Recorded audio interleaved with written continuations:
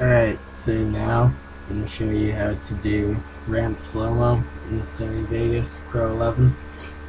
There's two ways to do it. I'm going to show you both ways. There is this way.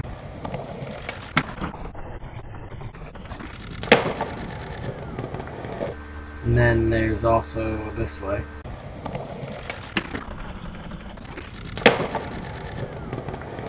They're both a little bit different. You could just pick whichever one you like. So, uh, yeah. I'm just gonna take a clip that I got from the Skate Rats editing because this is a pretty good clip to ramp. So first, what you want to do before you even like start ramping anything, well, first let me just turn off this real quick, just so it fills out.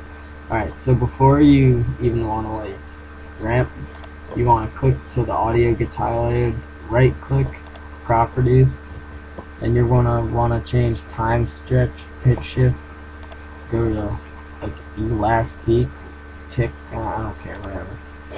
And then you're going to say lock the stretch. Now right now it's not going to do anything, but that's going to save you a lot of time and I'll show you how in a sec.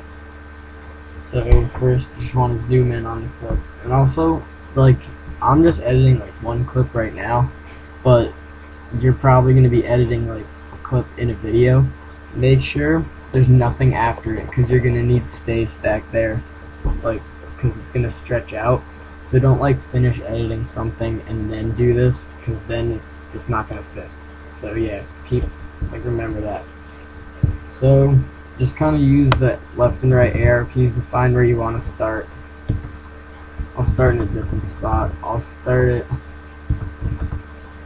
here he's about to pop.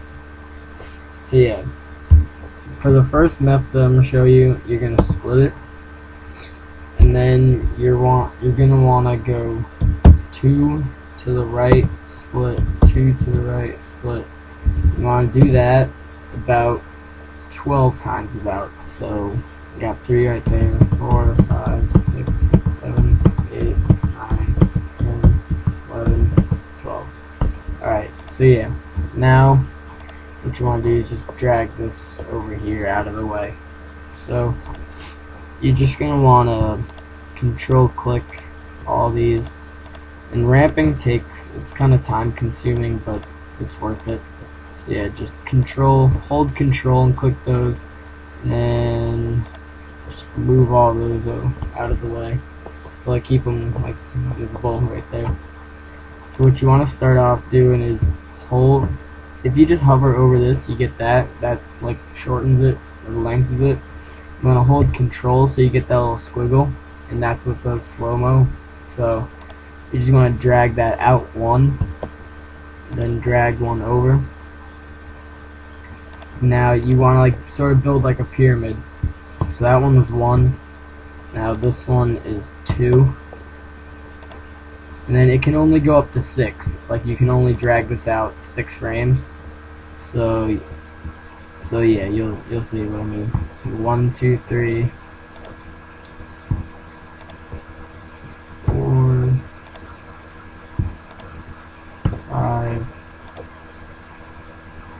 Alright, now 6. Now since I had you do 12, you're going to have two sixes. I just like to do that.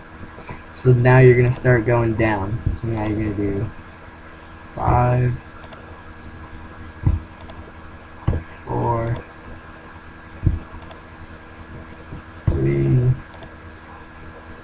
and so on. And then just drag this over. Alright, now the reason why I had you change it to like elastic and lock to stretch is so now you don't have to go back and right click each of these and press lock to stretch which I used to do when I didn't know I could do that which is really annoying it takes a lot of time and it's just a pain in the ass.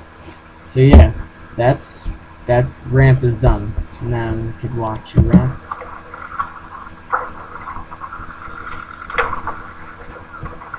So yeah, that's how you do the first one. Now the second one, which I prefer, let me just make a new. Now the second way, which I prefer, because I, I use this one more, is a little bit different. This one is primarily, well not primarily, like this one you can like select how long you want the ramp to be. Like that one you can only really go up to 12. If you go much more than 12 it's just not going to be like, it's not going to be right. So this one is for like a bigger ramp. Like I'll use this one if, like for example, if I want to ramp from here to like there, then I can do that with this method of ramping. Where that one, I can't just like, I can't just like split that many clips. It's it's just not gonna be right. So yeah. But yeah, if it's a shorter one though, I I use the I use the one I showed you before, just because that one's a little bit faster. So yeah.